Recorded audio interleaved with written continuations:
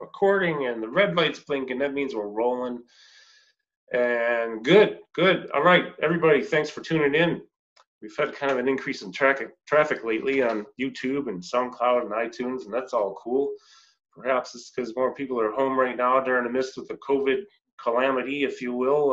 Uh, it's a serious thing, but you know, trying to um, still move forward in our education and learn from people. So today I have a gentleman with me who is um, the founder of a company called Stick Mobility.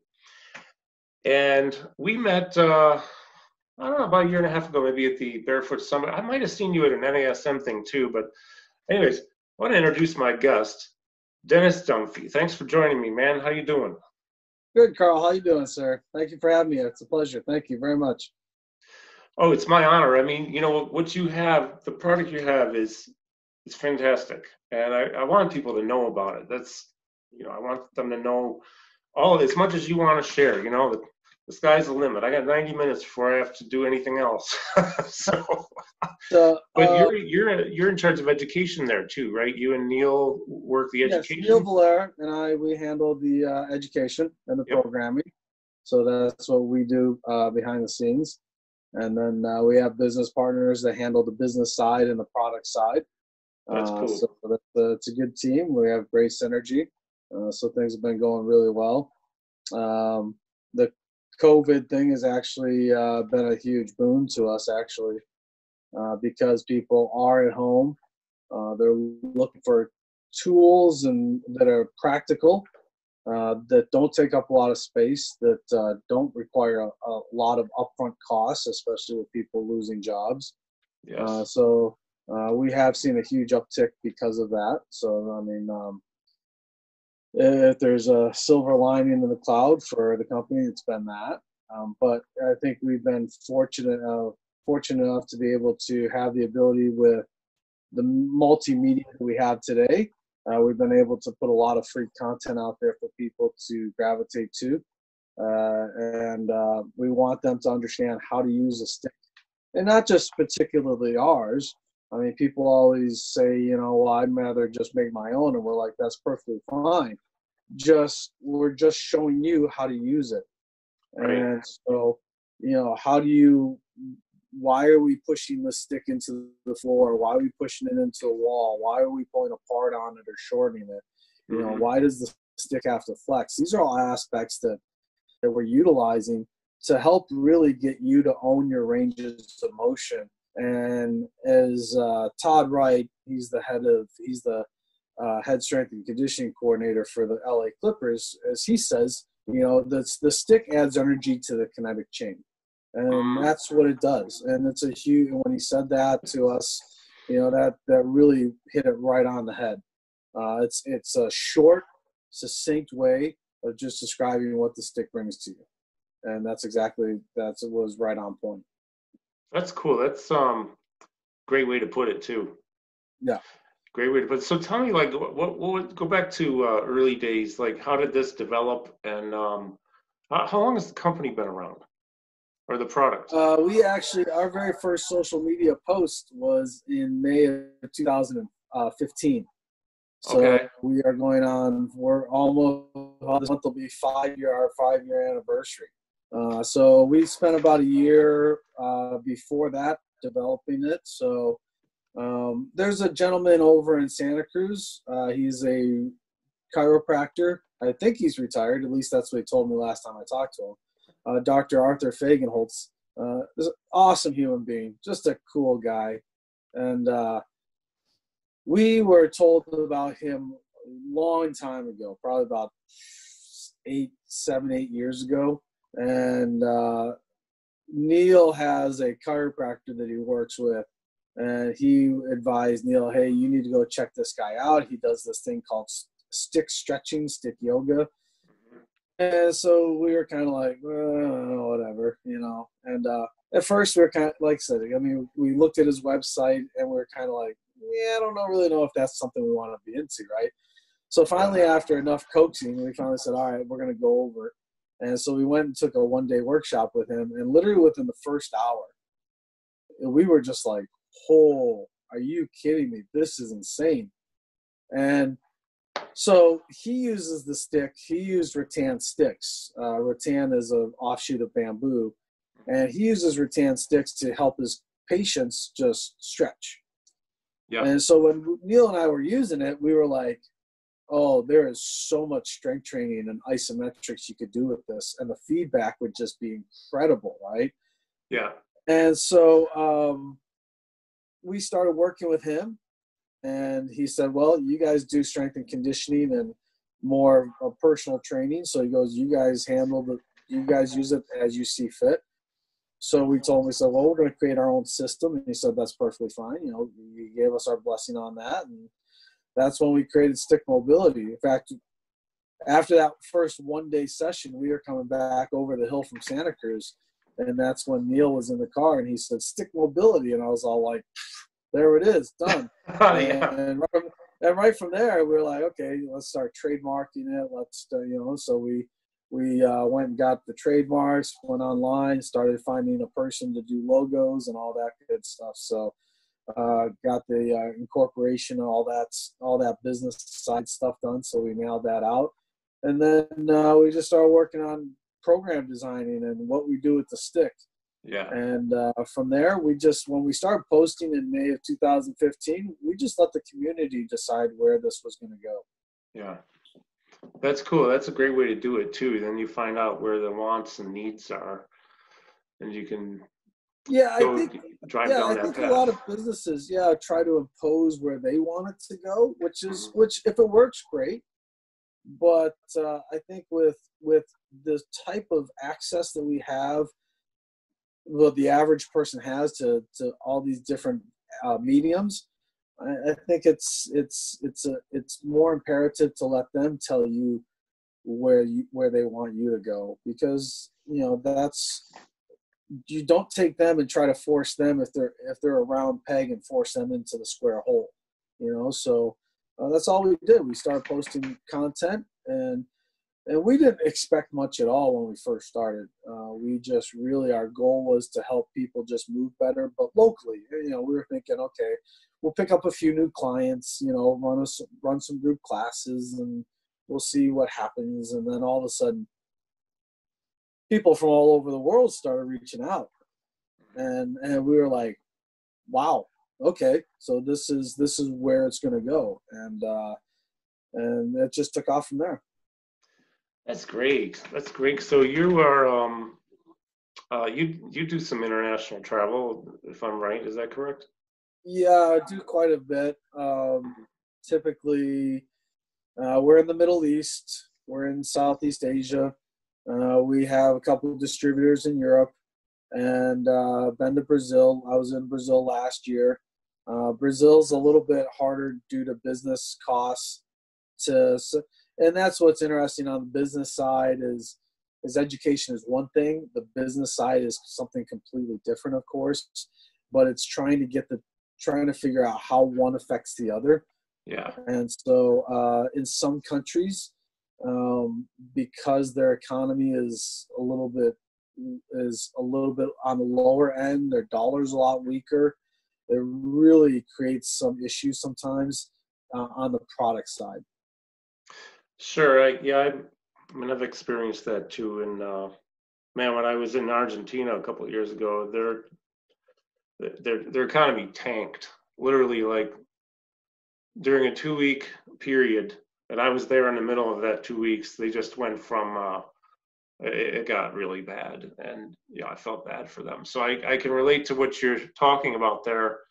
Uh, just even the education side, having people that show up for workshops became a challenge, but we managed. But uh, yeah, so there are special uh, certain areas where it can be more difficult, but of course you have the other ones that um, flourish and do well. And I'm I'm really glad, man. This is great. So it's almost five years as of right now, which is April twenty seventh. Yeah, what is up? Yeah. Um, so tell me, um, just curious, what is you? Well, you have a great YouTube channel There's a lot of stuff a lot of stuff on YouTube that people can watch. And I'll make sure that I have links to things here when I edit. Uh, when I edit, I usually don't cut anything out. I just add things like links Yeah. and this and that. But uh, for people who might not be familiar with uh, stick mobility, can you describe the the instrument itself? You know how long it is, are there different lengths, and it's flexible, and like some of the uh, no pun intended, the core things you would do with them. And I know core is one of them. So, yeah. The uh, the sticks come in different lengths. I mean, we sell everything from three foot up to seven foot. Uh, we do have custom eight foot sticks, but those are typically only for our NBA players or collegiate basketball players. Okay. Uh, they have some of them. A lot of them have seven plus uh, foot wingspans, so uh, Ah, we yeah. do have to have a longer yeah, stick for that. right. So That's the uh, for the rest of us, typically the six foot sticks are typically the most versatile stick lengths for most of us. Uh, if you're over, if you're close to six foot or over, then of course you're going to want the seven foot sticks. Yeah. Uh, but with, they they're strong, resilient sticks. They have flex in them because that flex allows a yielding contraction. So that way it allows you to get to your end range, and that pushing the stick into the end range is what brings that tension to the fascial system, recruits the tissues, the muscle fibers. And so we're not passively trying to achieve our end range, we're actively trying to achieve our end range. Uh, that's one of the biggest things that we've always noticed with stretching yeah. is how passive it is, and it doesn't make any sense. Mhm. If you're gonna just hang out in a position, there's no adaptation taking place. There's no change. So what are you doing? Mhm. You know, granted, you're going into a posture and hanging out there, which which it, it has its own va- validation to it. It has its own benefits.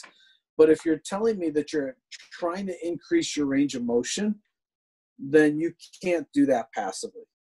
You need to you need to recruit tissues. You need to have tension so that way you start to really bring neural drive and neuromuscular control to those end range positions. And so that's what the stick allows us to do. And for a lot of people, getting to their end range, it's a stability thing too, right? So the sticks give you added stability, right? Yeah. So that way you're not going to fall over. You're not going to, uh, the brain doesn't sense instability and therefore doesn't allow you to get into that end range. The brain senses, okay, there's stability. Uh, we can use it in a closed chain application, and closed chain is where learning predominantly takes place. So these are the different facets and the different reasons why uh, we want to use the stick uh, to help really increase your range of motion and, and not just increase your flexibility, but owning a range of motion requires strength. And so uh, I know for people that do our system and have gone through the education or do the workouts, they're pretty amazed at how fatiguing it does get. And so, and that's uh, and that's what we want them to understand. Mobility work is that is exactly that. It's work.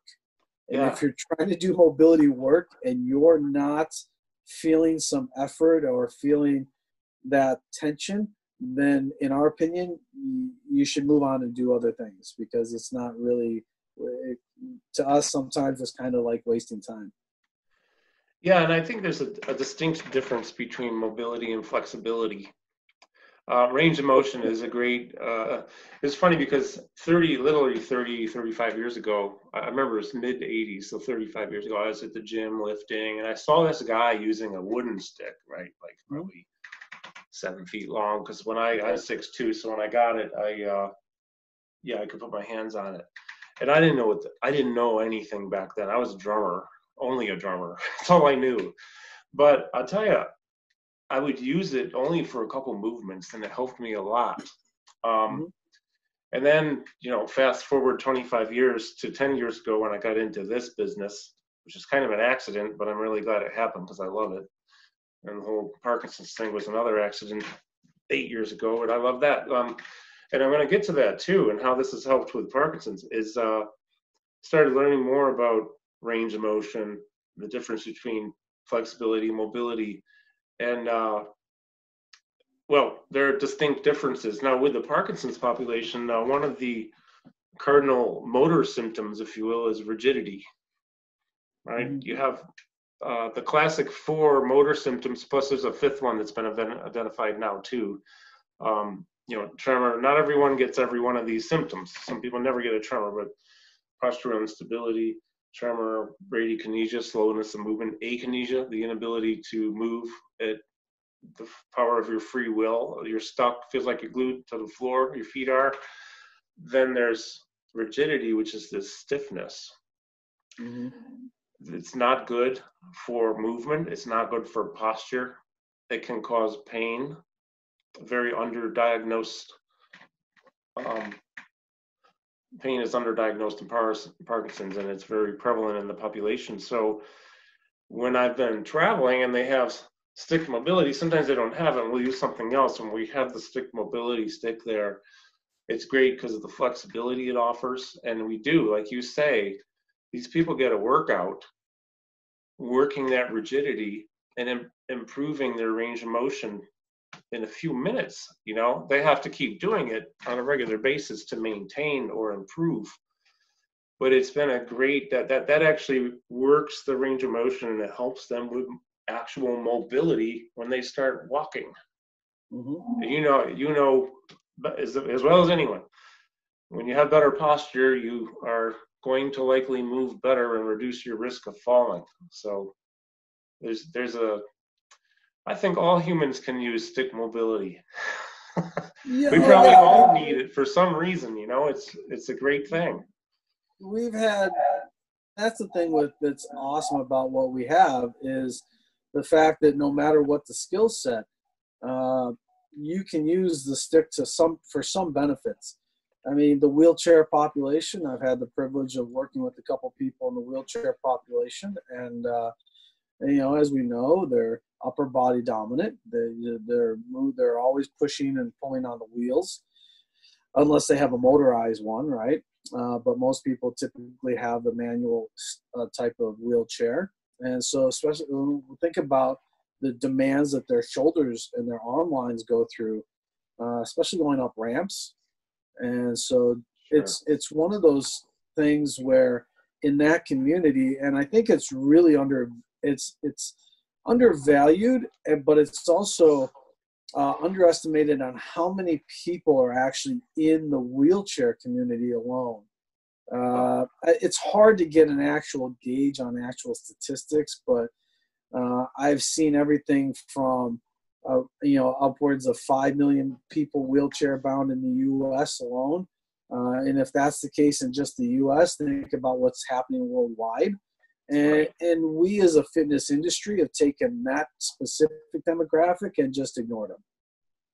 And, and I think in and that's one of the biggest gripes that I have about what we do in this industry is we totally discard or we trivialize and ignore a whole bunch of different demographics.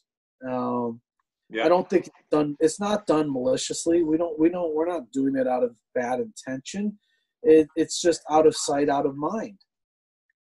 Yeah. Because that's just kind of what humans fall into. If we don't think, if it's not in front of us, we don't oftentimes don't think about it.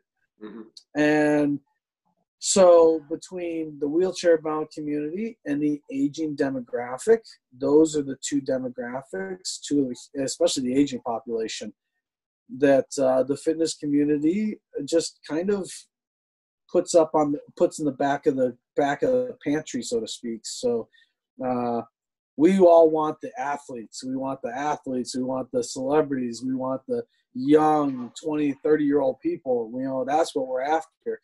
But that that's such a small part of the community overall, uh, as far as the general population is concerned. So, as yeah trainers, is you've got to be able to really open up your market and, and really open up how many people you can truly affect. Well, you know, we're in an interesting time too now because I'm 59, so I'm tail end baby boomer. I think the Mhm. official year ended uh, 64 was the last year. There are a lot of us boomers out here, and there are a lot of them that are older than I am, and then there are the ones who are older than the boomers, the earliest ones that started in 45 or six. Um, Mm-hmm. 46, I guess. Because the year, yeah, yeah. And, you know, I now it just so happens I am, I work with that population a lot, but it's primarily because the, the Parkinson's is more prevalent in that populations or, you know, some other issues, uh, Alzheimer's and age related, typically age related disease. I mean, I know people in their 20s in Ireland who have a couple people who have Parkinson's, but typically it is age related. So I'm with them a lot. And I think I would agree with you that the, uh, the boomer population and older than that needs more attention, more help. There's some cool things out there. I mean, you know, there's nothing wrong, and I, I don't want to get in trouble. I'm not dissing anybody here. I'm not trying to criticize. There are a lot of silver sneakers programs out there, and that's cool. It's totally fine because there's no harm being done whatsoever. However, there's also a lot of other stuff that would be much more beneficial than just silver sneakers, and that's where um, we we need more. We need more, and so that like your product is something we can insert into the workouts for these people. It could be like the first thing they do really when they get started. That would help them so greatly. And I'm glad you mentioned that about the population. And the other one that I find is a lot uh, with learning disabilities. I work a lot with mm-hmm. about half of my clientele right now, and and you know what? They're ignored a lot of times. Same thing it, with the wheelchair users. Yes. It is, and that's like I said, it's extremely unfortunate. Uh, I think our, I think we are really trying to to give a bigger push to an awareness to to why to to this event, uh, what's taking place, and uh, I know there are a lot of great educators out there that, like like myself, that really understand that yeah, there's a huge segment that we're just you know pushing off to the side, and we shouldn't be doing that anymore. Uh, as far as the thing that the sticks uh, really as a tool can the way I think of it and view it is is is for a lot of people in those in those demographics we just mentioned, it's it's a confidence thing and it's an intimidation thing. Yeah. Uh, people don't go to older a lot of older population don't go to trainers or gyms out of intimidation factor absolutely. right? And so you, is that if that happens they're intimidated to go to a training facility or a box gym. They're intimidated to work out on their own because they're like what do i do? Uh, they look at a lot of programs out there and they're like holy crap i don't think that's for me and i can't do that stuff. And so we we leave them sitting in a position where they feel pretty much uh, like an invalid. Uh, they they're they they're in a bad mindset because they're kind of like there's nothing out there for me. So yeah. with Fix, this gives them something that's going to number one allow them to move safely and really stay within since they feel confident to start to explore new things. But that's one of the very first things that you have to instill is confidence and safety.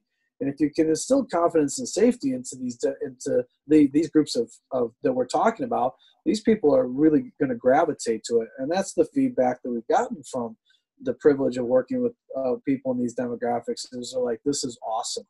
I mean, yeah. spouses people that I've been training for years whose spouses would never come see me. You know, when we start when we created stick mobility, their spouses are like, "Oh, I'll do that," and so yeah, yeah, it's like, yeah. cool, you know. Yeah. And so, and from, you know, even people that are intimidated with weights, even younger people, we know oh, it's sure. not just old. There's a lot of young people that don't want to lift weights. They're intimidated by weights. Mm-hmm. So they may come in, start with stick mobility, and then over grad times their confidence gets better and then all of a sudden i start to sneak weights in. You know i start mm-hmm. to sneak some kettlebells in start to sneak some suspension training and all these other tools. And it's just it's just a gradual thing over time. We just say hey let me check this let's try this out today. Let's try you you know why don't you pick this up and walk with this? And yeah.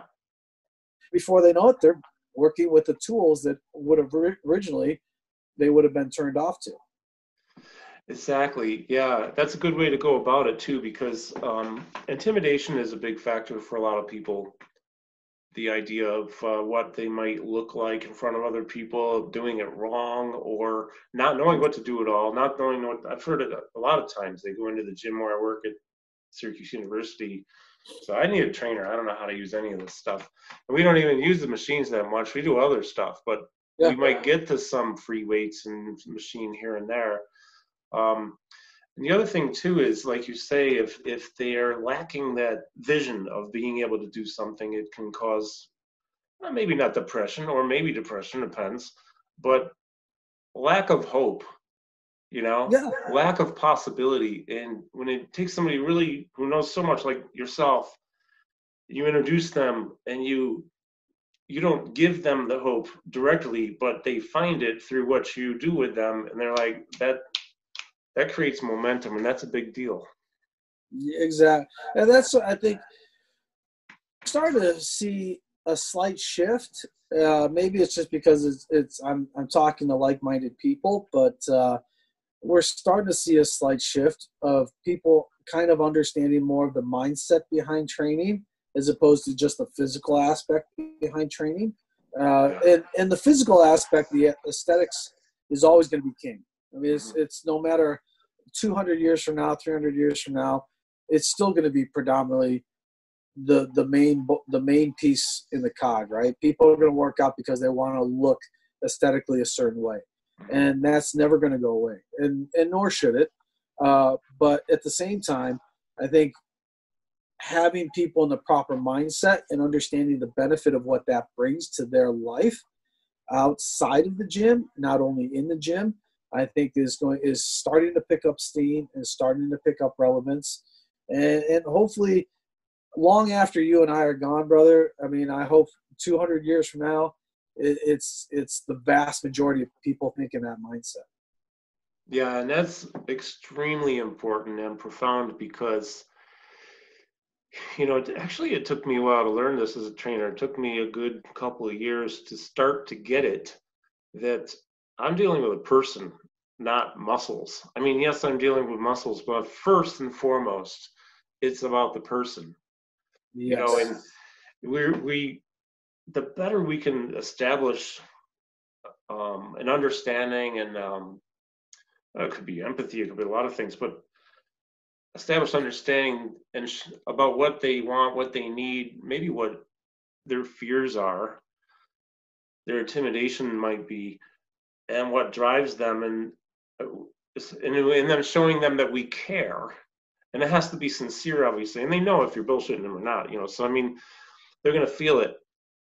And once uh, that's the magic, man. And you, like you say, you know, you can get into doing all kinds of stuff they never thought they'd do but you yeah. build up to it and that's the beautiful thing is i'm always looking i i, I want to hear that feedback when when clients come in people i work with come in and they say hey i did this thing yesterday or since the last time i saw you that i was number one amazed that i could actually do and number two realizing that this is something i couldn't couldn't have done be you know two three years ago yeah. And and that's when that person gives you that verbal feedback, that tells you they're really folk they're paying attention. And, and they they're they're they're understanding why we we've done what we've done. You know, um, yep.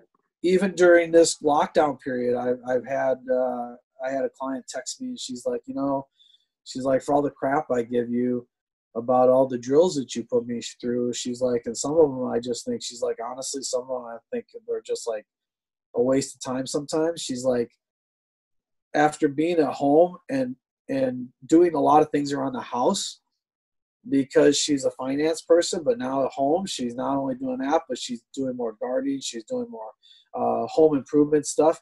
She's like, I get why you have us do what we do yeah. She's like, I understand levers now. I understand if I'm carrying something away from my body, it's adding more stress versus holding it in close to my body. She's like, I understand those principles that you've been trying to teach me for all these years. She goes, okay, I get it. She goes, now I understand why you do what you do. And I'm like, perfect.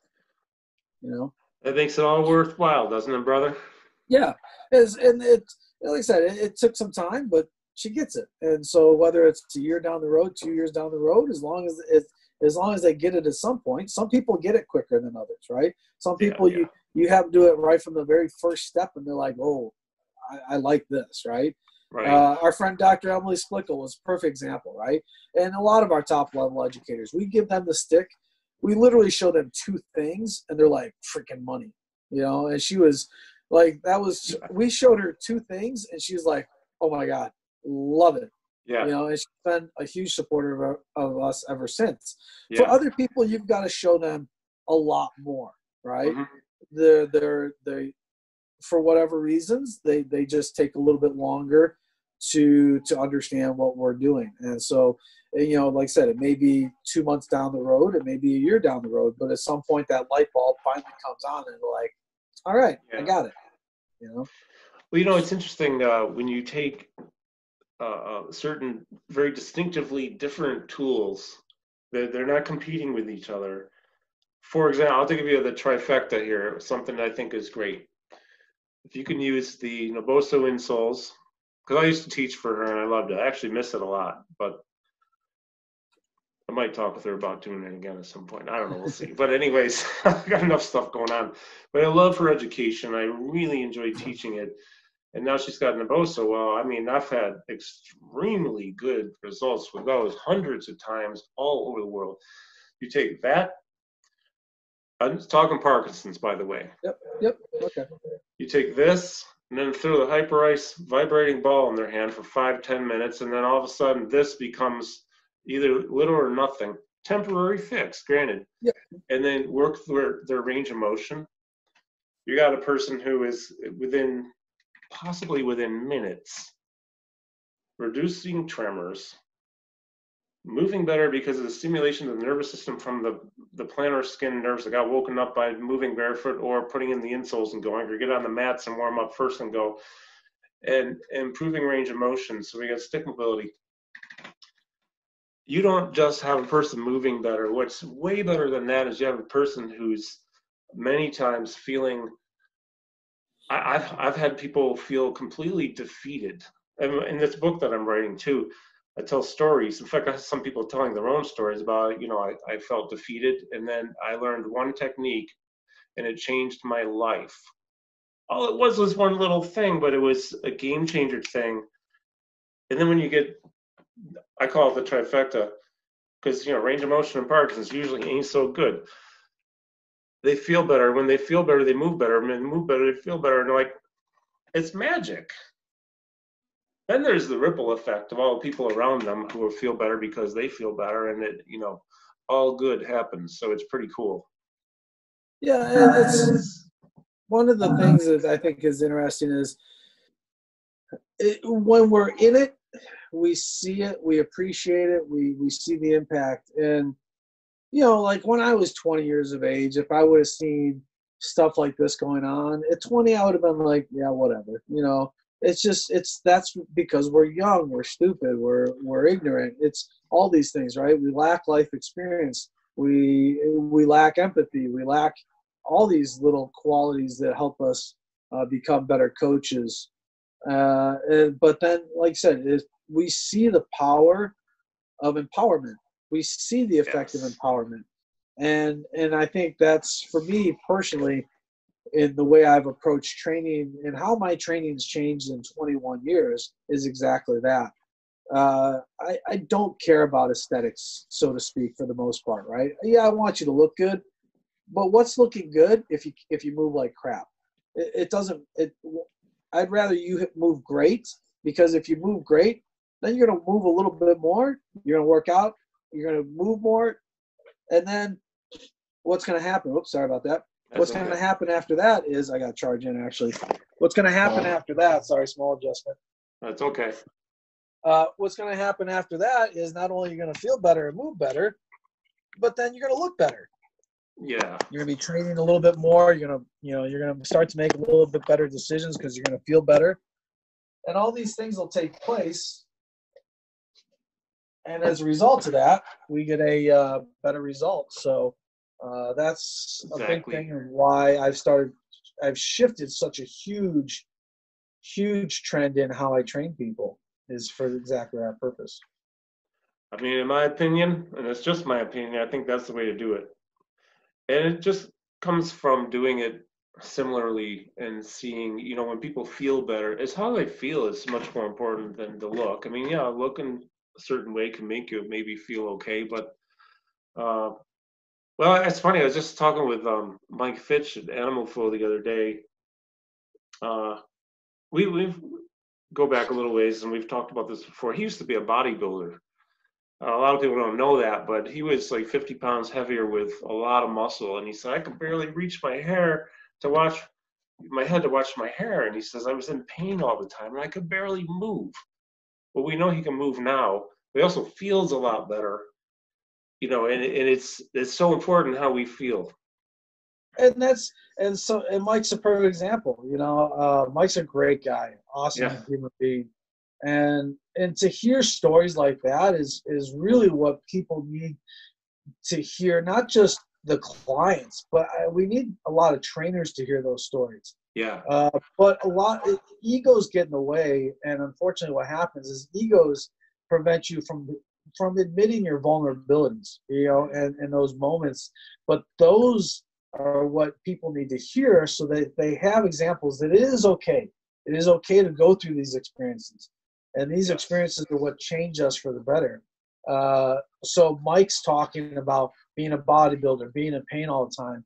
And, and my background is a meathead also. You know, my goal when I was 18, my goal was to be on stage you know, I wanted to be on stage. You know, I wanted to be the same thing. You know, uh, I I looked at it this way. I'm five three. Uh, I pack on man. I pack on muscle pretty pretty easily. Like it's an easy thing for me. So, you know, growing up reading, you know, all the Muscle and Fitness and all the other flex magazines and all that stuff, and and saying, oh, that could be me one day. Uh, but then all of a sudden transitioning that because I was like, oh, it just doesn't feel good.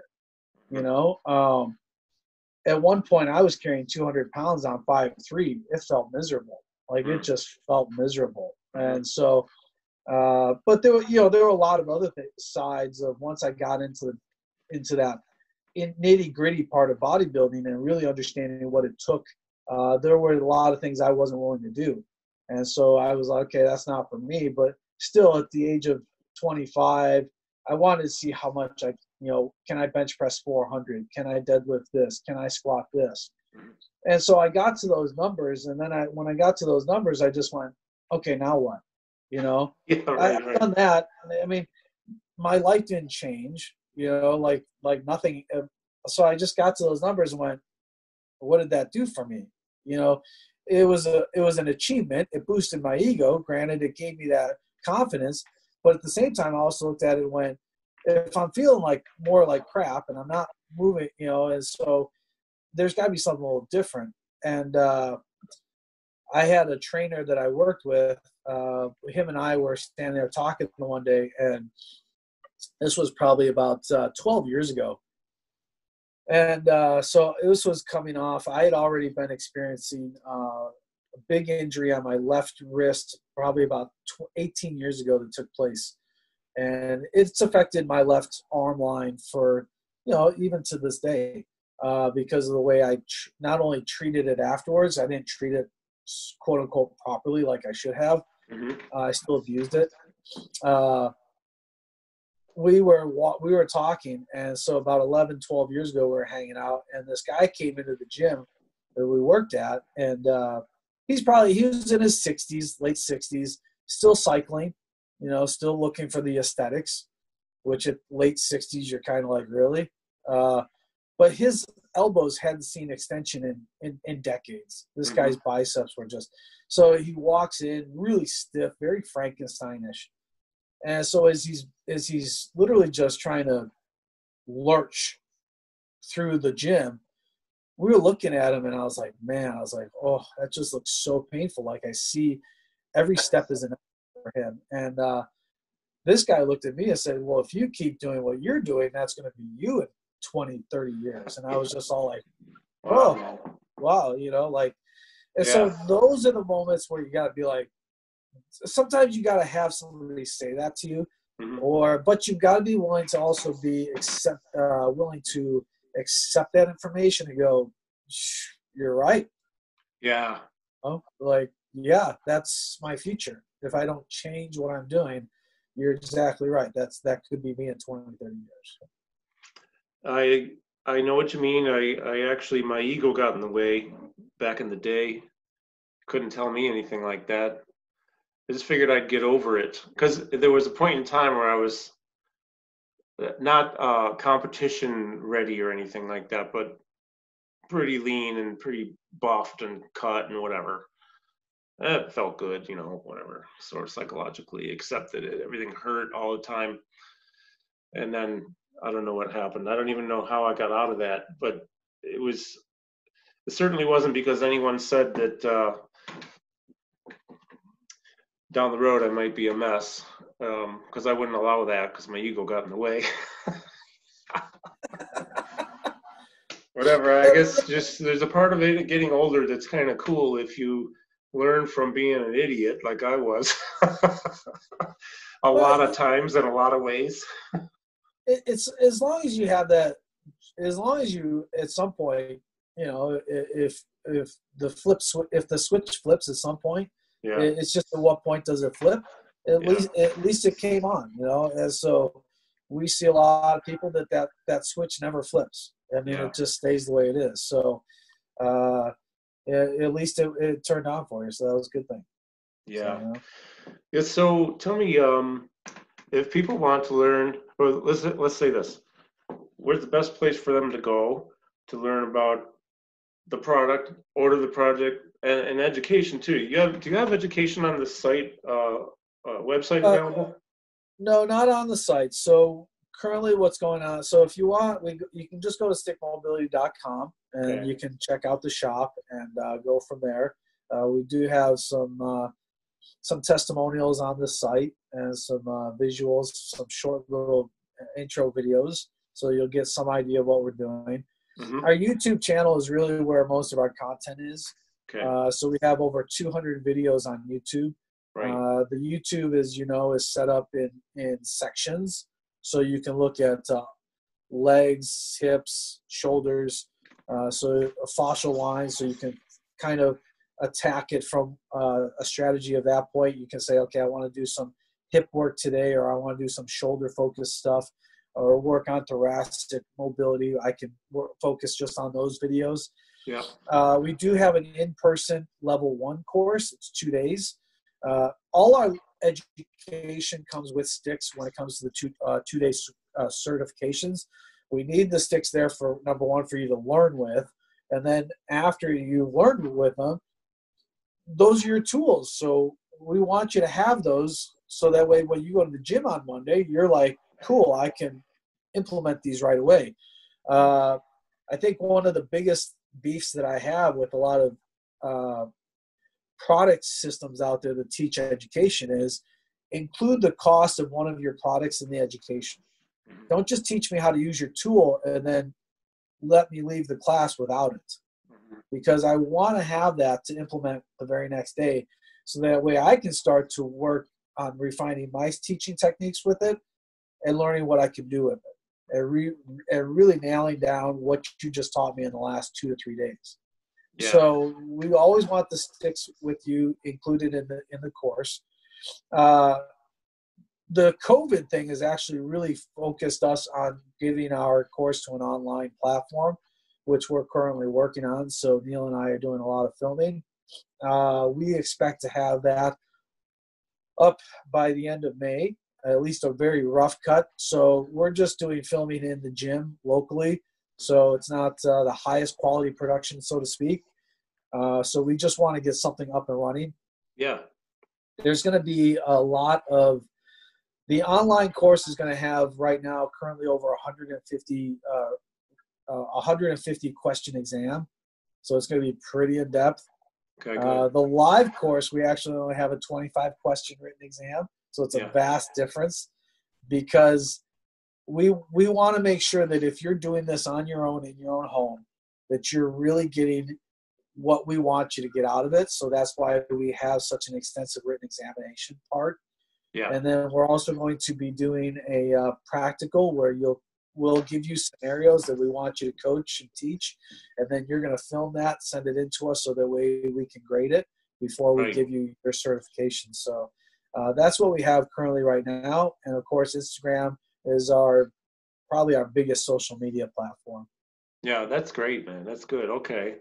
Um, so I'll have, so what'll happen with this video, um, is it'll get, you know, I'll, I'll tell you more when we, when I end the recording, but, uh, we'll also, the, the audio of this goes up on the SoundCloud and then that automatically syncs with the iTunes podcast. So, uh, for people who are listening, go to stickmobility.com, just how it sounds. But I will have a link on the screen here and there throughout, and on the intro and on the outro. Um, this is good, man. I'm glad we got a chance to connect. Um, and I didn't tell you I was going to ask you this question. I never tell anybody. Okay, right. I know you have an answer. I know you have an answer. So, um, and and I don't even we don't even have to stop talking right now. I just thought of this right now. Is uh, do you have a takeaway message? If there was a one piece of advice you'd want to give to anybody out there, it could be to the trainer community, it could be to whoever. What would your advice be? my advice would be to really contemplate why you train the way you train.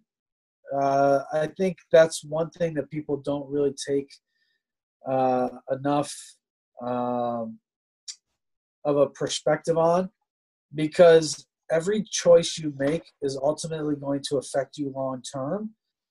Humans are inherently bad at at evaluating the long term ramifications of their decision making and especially when it comes to weightlifting and health and fitness that is extremely prevalent. Uh, so the things that you're doing at 25 30 years of age will come back and they will let you know that at the age of 60 that they did have a part in how you feel at the age of 60 and so if that's some if there was one thing that i could do personally if i could go back in time it would be to tell my 18 year old self 15 year old self even because hell i started working i started lifting weights probably at 14 15 so i would even tell myself back then really think about what's going to happen and how you want to feel when you're 50 60 years of age. Uh, because staying physically relevant is why we're doing this. It, it's if we get into working out what is the purpose of working out it's to look good but then it's people say well i want to live longer. I want to feel better. Well if that's what you want to do then your training protocols should ultimately lead you to that goal. And if your training program and a lot of training programs out there long term wise are not going to take you to that goal. So uh, short term wise it may it's going to have a huge impact but what's going to happen 30 40 years down the road and i talk to a lot of people that eh, that ultimately especially in their older years they look back and they go wow now i understand why this this and this ended up ultimately coming back and bite me in the butt Yeah. and and I know I had read an article years ago in uh, T Nation, I think it was. It might have been another uh, publication where they asked uh, bodybuilders. They just total, uh, totally anonymous answers. What's the one thing you regret training? And the vast majority of them said, "I regret training my mobility and flexibility aspects." Wow. That Yeah. was their overwhelming answer. I wish I would have focused on my movement and how I move because right now I'm paying the price for that. Yeah. Yeah, I mean, I've I've seen that too in my training, and actually being 59, I've had a couple things that have come back and haunted me that I've been dealing with. But you know, I'm okay and doing well, and um, I think that's a great takeaway message, man. That was that was really good, important, really important, and rele- relevant. So, Yep. well, cool, man. This has been great. Well, thank you, Karl. Yeah, this is fantastic. Thank you very much. I, I like it. that bridge. Yeah, I was like, yeah, the Golden Gate Bridge. I like that behind me. I'll take that. That's such an it. iconic view. it's such funny, uh, people watching or listening. I, I we were on a call the other day with some people, and you had the bridge on. So I found the settings I can't do it on my laptop, but on the phone I could. And I put it in my garden. so I did. I got Yeah. my little new raised garden I did. Uh, it's going to be where the tomatoes go because that's the only place that gets sun in my yard. But uh, yeah, so okay, stickmobility.com. And uh, I- I'm certain they if they just go to YouTube and just put in Stick Mobility, your channel will probably come up, right? Stick Okay. Mobility channel pop up. Uh, go ahead, feel free to subscribe. And Yes. uh, we also have podcasts. Oh, so good, can- good. Uh, so we have the movement is the movement made better podcast. Oh, good. Stick Mobility Movement Made Better. Uh, so it's just our tagline. Uh, it's just Neil and I just, you know, just kibitzing. And uh, uh, we've had a couple guests on. We're going to definitely have some more guests on. So uh, luckily, we're starting out at a with a pretty solid base of, of fans. Uh, so uh, we're and we've been fortunate enough to have some really great relationships already in the industry. So Yeah. uh, we're fortunate enough to be able to have some. We're going to be able to bring on some pretty high quality educa- educators and coaches onto our podcast because we already have relationships with people, you know, such yeah, as that's yourself, great. you know, and Mike and and uh, Oh, and, and Kevin Carr and people like that. So uh, Yeah, that's great, and- man. and the whole point of the podcast is is really just to talk about different perspectives. Uh, we want to bring some thought provoking content.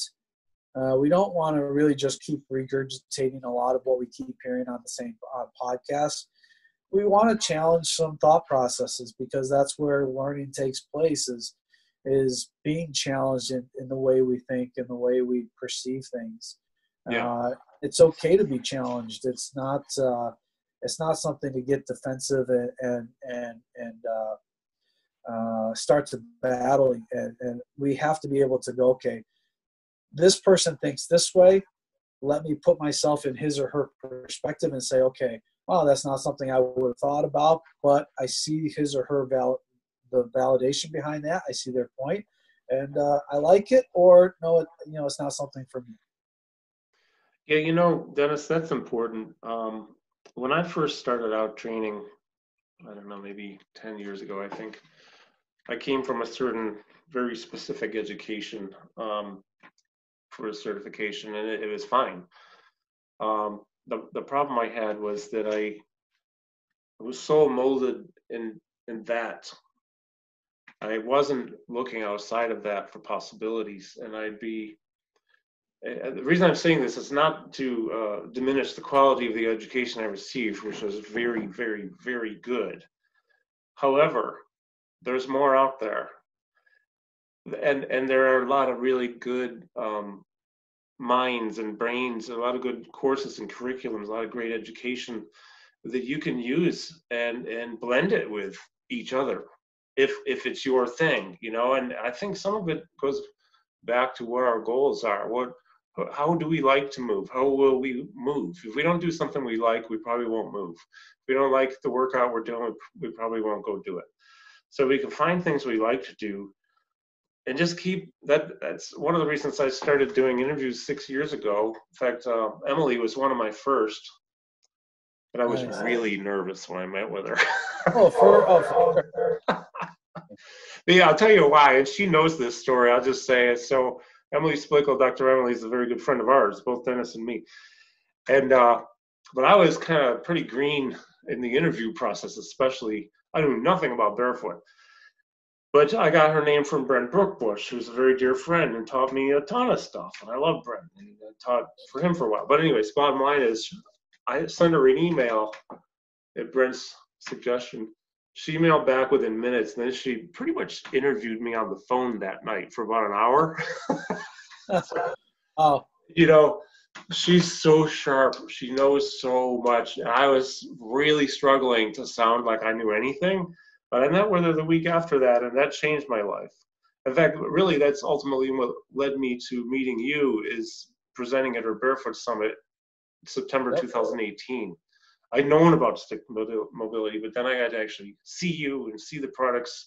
Uh, I've seen the product before, but I hadn't seen how you do it. You know what I mean? So, yeah, that, that's going back to what I was saying, because I tend to go on tangents, but I always try to tie it back. Is being open is really important. Uh, learning more, and uh, you, I love your advice, man. It's really good advice. Thank you very much. Thank you. Well, good. Well, listen, man. Thank you very much for joining me. Thank you, uh, everybody, for watching, for listening stickmobility.com. Go there, check it out, and then put in Stick Mobility in YouTube and check that out because there are over 200 videos there, and I like how they're categorized too, the different sections. So it's well done. Dennis, thanks, man. Thank you, Karl. I appreciate it, brother. Appreciate it, man. And uh, don't hang up. I'm just going to end the recording, and uh, I just want to talk to you for a minute. Thank you, everybody, again. Hope you enjoyed it. I know I sure did. Have a fantastic day.